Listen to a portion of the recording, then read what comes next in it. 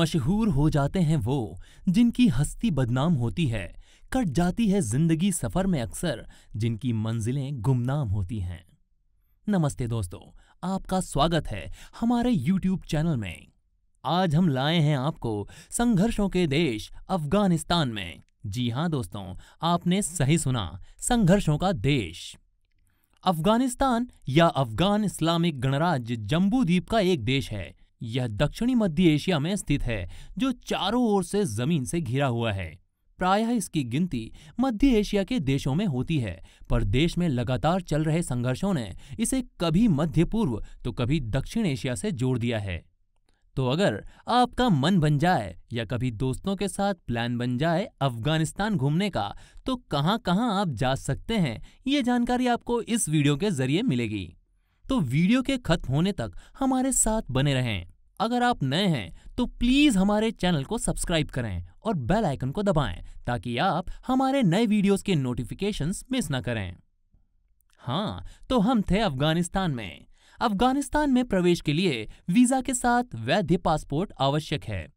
अफगान दूतावासों के बीच सालाना पंद्रह हज़ार से बीस हज़ार पर्यटक वीज़ा जारी करते हैं। 2014 में साहसिक यात्राओं के लिए बुकिंग्स अफ़गानिस्तान में दोगुनी हो गई थी। 1999 में संयुक्त राष्ट्र ने काबुल में रहने की दैनिक लागत 70 यूएस डॉलर का अनुमान लगाया। अफ़गानिस्तान में चार अंतर्राष्ट्रीय हवाई अड्डे हैं, जिनमें हामिद करजई अंतर्राष्ट्रीय हवाई अड्डा मज़ार शरीफ अंतर्राष्ट्रीय हवाई अड्डा, कंधार अंतर्राष्ट्रीय हवाई अड्डा और हैरात अंतर्राष्ट्रीय हवाई अड्डा शामिल हैं। पूरे देश में इसके कई छोटे हवाई अड्डे भी हैं। तो बात करते हैं काबुल की। काबुल अफ़गानिस्तान का सबसे बड़ा शहर है। ये देश के पूर्वी भाग में स्थित है। 2019 में अनुमान के मुताबिक काबुल की आबादी 5.26 मिलियन है, जिसमें अफ़गानिस्तान के सभी प्रमुख जातीय समूह शामिल हैं। तीव्र शहरीकरण ने काबुल को दुनिया का पांचवा सबसे बड़ा शहर बना दिया था। पर्यटक काबुल में कई पार्कों और अन्य स्थानों पर जा सकते हैं। गाजी स्टेडियम अक्सर फुटबॉल मैच होस्ट करता है। स्टेडियम के बगल में स्केटिस्तान नामक एक इंडोर स्केटिंग ग्राउंड है। शहर के विभिन्न हिस्सों में दो इंडोर वाटर पार्क और कई स्नूकर और बिलियर्ड्स क्लब भी हैं। और इस लिस्ट में दूसरे नंबर पर है अफ़गानिस्तान का राष्ट्रीय संग्रहालय। शहर के दक्षिण पूर्वी हिस्से में दारुल अमन पैलेस के बगल में स्थित है अफ़गानिस्तान का राष्ट्रीय संग्रहालय। संग्रहालय का संग्रह पहले मध्य एशिया में सबसे महत्वपूर्ण था, जिसमें एक लाख से अधिक आइटम्स कई शताब्दियों तक रखे गए थे।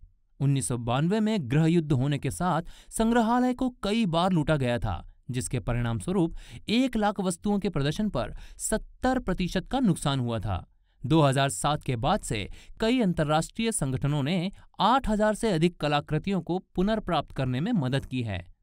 और हाल ही में जर्मनी से चूना पत्थर की मूर्ति है। 2012 में लगभग आठ कलाकृतियों को यूनाइटेड किंगडम ने लौटा दिया। और अब बात करते हैं कांधार की। कांधार अफ़गानिस्तान के दूसरे सबसे बड़े शहर में गिना जाता है। लगभग साढ़े पाँच लाख लोगों की आबादी के साथ कांधार देश के दक्षिण में अरगंडम नदी पर 1100 मीटर, या यूँ कहें, लगभग 3300 फीट की ऊंचाई पर स्थित है। यह कांधार प्रांत की राजधानी है और लोय कांधार नामक बड़े सांस्कृतिक क्षेत्र का केंद्र भी है। 1709 में मीरवाइज होटक ने इस प्रांत को एक स्वतंत्र राज्य बना दिया और कांधार को होटक वंश की राजधानी में बदल दिया। 1747 में दुर्रानी राजवंश के संस्थापक अहमद शाह दुर्रानी ने कांधार को अफगान साम्राज्य की राजधानी बनाया। अहमद शाह दुर्रानी का मकबरा शहर के केंद्र में स्थित है, जिसमें दुर्रानी के पीतल के हेलमेट और अन्य व्यक्तिगत सामान भी हैं। दुर्रानी के मकबरे के सामने क्लार्क का तीर्थ है, जिसमें इस्लामी दुनिया के सबसे मूल्यवान अवशेष हैं, जो कि पोखारा के अमीर मुराद बेग द्वारा अहमद शाह दुर्रानी को दिया गया था। पवित्र क्लॉक को बंद रखा जाता है। केवल किसी बड़े संकट के समय ही उसे बाहर निकाला जाता है। और अब बात करते हैं हैरात की। हैरात अफ़गानिस्तान का तीसरा सबसे बड़ा शहर है। इसकी आबादी लगभग चार लाख छत्तीस हज़ार है और देश के पश्चिम भाग में हरी नदी के उपजाऊ घाटी में स्थित हैरात प्रांत की राजधानी के रूप में कार्य करता है। यह कांधार, काबुल और मज़ार शरीफ के साथ राजमार्ग या यूँ कहें एक रिंग रोड से जुड़ा हुआ है। और अब सबसे आखिर में बात करते हैं बैंड आमिर नेशनल पार्क की। बैंड आमिर राष्ट्रीय उद्यान अफ़गानिस्तान के बामियान प्रांत में स्थित है। बामियान, जो प्रांत की राजधानी है, उसमें कई आधुनिक होटल हैं। बामियान का बुद्ध स्थल भी इसी प्रांत में स्थित है। कुछ लोग स्कीइंग ट्रिप के लिए सर्दियों में बामियान आते हैं। तो दोस्तों, आशा है कि आपको ये वीडियो पसंद आया होगा। अगर आपको ये वीडियो पसंद आया है तो इसे लाइक करें और अपने दोस्तों के साथ वीडियो को शेयर करें। और चैनल को सब्सक्राइब करना ना भूलें। धन्यवाद।